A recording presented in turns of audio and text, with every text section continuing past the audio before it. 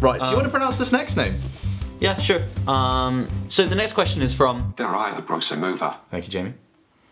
and he asked, what experience is the same for all Oxford students and which one is different for everybody?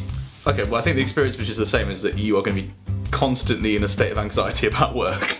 Yeah, you'll have deadlines and then you'll be like able to cope with those deadlines. Yeah, you're going to be anxious about it and stressed, but you're going to be okay with that anxiety Yeah. and stress. Um, what's different for everybody? Okay, I think just purely by def- definition that if you're a different person, you're going to have a different experience. Thus, everything you do is going to be different because there's such a wealth of things for you to get engaged with. Your narrative for Oxford is going to be completely different. I mean, look, like It's like completely it- different. It's like how uh, the Olympic Games is completely different for different athletes in different sports. You know, if you're doing a different subject, it's a completely different experience. And equally, if it depends what you also do in your time, it's not just your subject. It's whether you do, if you choose to spend your time doing sport or music, or in my case, um, seeing your girlfriend. I mean, I, had, I was in a long distance relationship for the first three years of uni, and that completely changed my experience because, you know, um, for, compared to somebody who was always in Oxford. Um, it's diff- it's it's impossible to, it's impossible to say really. You know Yeah. ev- everyone is different which is a great thing. Although, is it? I think it is. Hmm. Ben Claridge has asked how much has Oxford changed your life? How would your life be different if you went to any of your other uni choices? It's difficult to say really. I I I'd like to think that That's incredibly difficult because we don't know what the counterfactual would be, right? I Yeah. mean, you're the one who has the closest comparison because you're here now. Yeah. So you can like spy on undergraduates and see how they're growing as people. I mean, I think the comparison is that if I'd gone to another university, uh, I'd be less stressed because the Oxford term is compressed. You know, it's, it does, it's eight weeks instead of 11 or 12. So you do the same amount of work at the universities, but it's just spread out more. So people in Exeter, for example, are a lot more chilled. Um, and the other big thing is, we, I mean, I showed Jamie around yesterday, uh, the fact that it's a campus university changes the dynamic of university hugely. Um, I think if I'd gone to a campus uni like, um, admittedly Durham's also collegiate, but you know like Warwick or like Leeds, I think it would have really changed how I perceived my, my student experience. You know, um, I think in a way I would have preferred it weirdly because. I, I like the idea of having everything in one place and having like the student hub, whereas in Oxford it's like we were talking about this yesterday. Yeah. It's like islands in Oxford of, of student. oh yeah, he gave it a great name. It was the, archipelago archipelago of- of education. Yeah, which is fantastic. there you go. That should be Ox- Oxford's new tagline. Um, what do you think? Um, how does it change my life? I would say it's given me far more belief in my own abilities to be able to, regardless of how intense the situation is, be able to cope with it. And upon having now left Oxford and now being in the working world, the working world is so easy in comparison. like the amount of workload that is expected of you is so much lower than what Oxford expects of you. So you're ramping it up at like that, and this is casual sailing for you, whereas like the average is kind of expected about that. So I would say that that is a huge skill that Oxford has changed for me in particular. And I would say that it is distinct from other unis because from having spoken to people from other unis aside from Cambridge, um, even the ones in America, when the Stanford kids come over, the Harvard kids come over to Magdalen and they're like, how do you get all of this stuff done? It just, the fact that you've been prepared in such a way and you know that what you've been grilled through over the past three or four years is at that standard, that gives you a kind of sense of belief that I don't think I'd have otherwise. Oh. Nilani has asked, how much did college life influence your time at uni? Massively. Like my co- my time in college was my time in uni, basically. Yep, pretty much same for me. Okay, cool. Next, E. Bryan says, as a what does he say? as a result of people going to Oxford, how did you find people reacted to you going to Oxford, and did they treat you differently?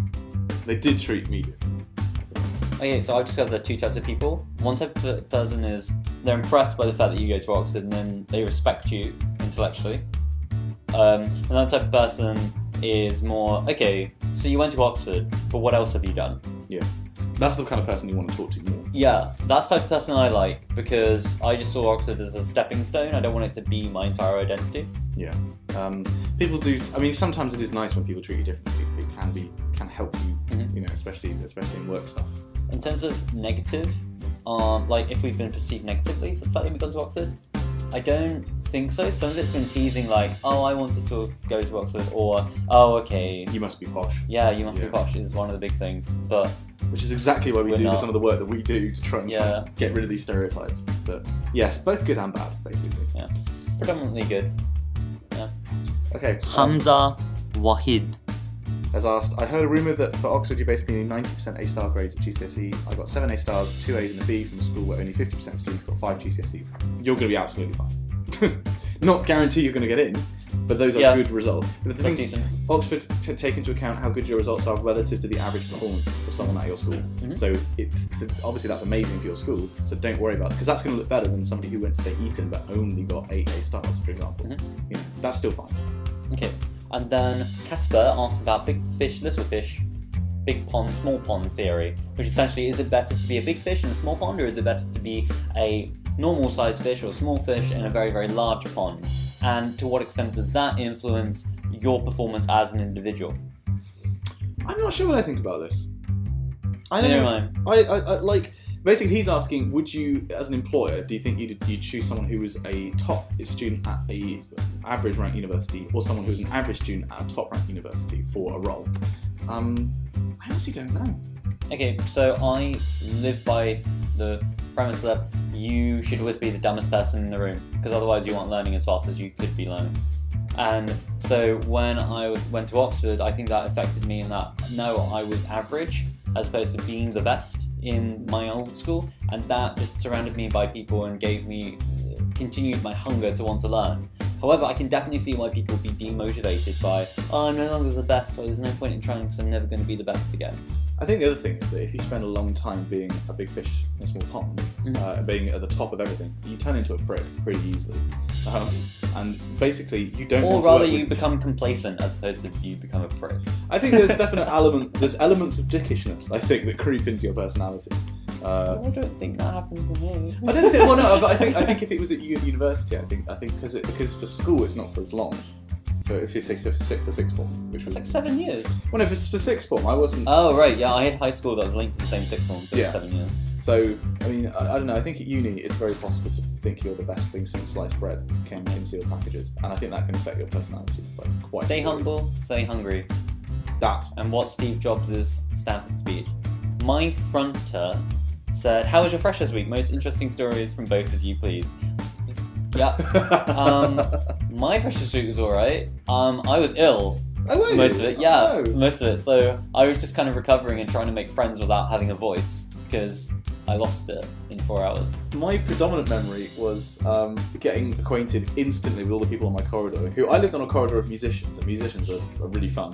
Um, and I remember on like the, the night after I met this guy, engaging in a race of um, wheelbarrow shots, where you you were with a person, Mhm. and they you you carried the person who was the wheelbarrow, and they went on their hands. They had to then do a shot. And then you, you changed over, did the same thing again. It was like a relay, Oh god. and I'd met this guy like 12 hours before. it was amazing.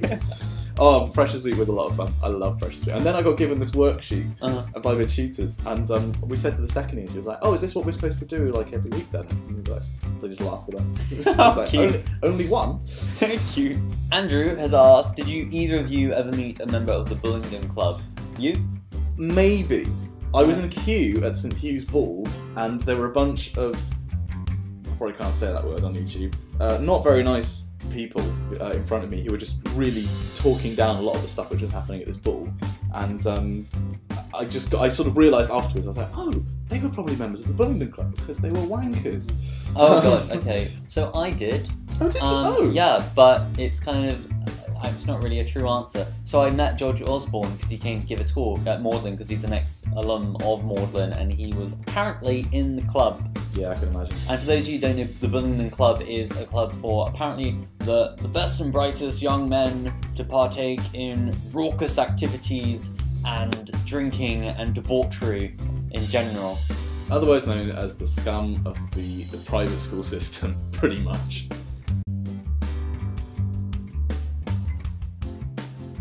They're the really Some of them might be nice. Some of them might be nice, but they might be don't get it. They don't have a good name for themselves. Let's put it No, like that. okay, yeah. So the reputation of the club infers that is what type of individuals are that. Yeah, There we go. that's Okay. we, we, we we're probably gonna be sued now. Don't sue us, please. We don't have the money. We're not like you. We don't have the money.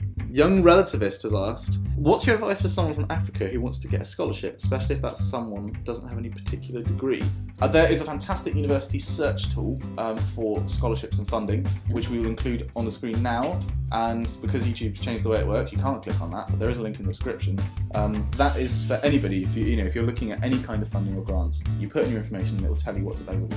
Um, and that can actually influence your choice of college because there's some some colleges have really really specific grants, like somebody who's under 20 from New Zealand who wants to study history. Yeah. and there's a specific grant for that. There's one in the UK that your mum, mother has to be a chemist and your father has to be a baker, and then you get the scholarship. and I was like, Dad, can Mark, can you change your job? So then all my tuition fees are paid for. Uh, the next question. My middle name's Jane.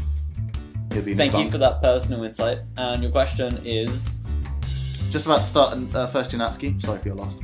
Uh, and about to specialise in physics. Good. You kind of redeemed yourself in my eyes. Um, philosophy.